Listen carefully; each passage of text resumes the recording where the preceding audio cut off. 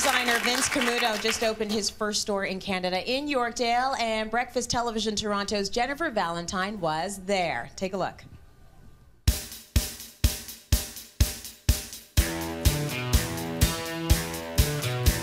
Shoes really make the wardrobe. You can wear the same dress, Yeah. and you can alter it with the right boot, pair of shoes. We are shoe freaks. You know, we've been doing it forever. We listen to women, not many people, not many men, A man that listens to a woman. Yeah, always have and always will.